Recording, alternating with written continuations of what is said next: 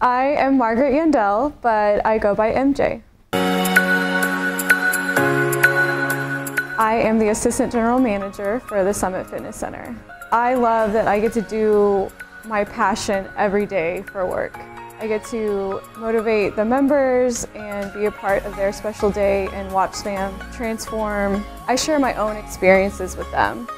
I've struggled with the diet and nutrition in the past. Sometimes after a stressful day, you even struggle with the training. I've been there too. Just allowing yourself to truly let your heart come through and be authentic as possible when motivating others to live out their goals. To me, being authentic is being your true self. You're allowing your true colors to come through and enjoying every moment of it.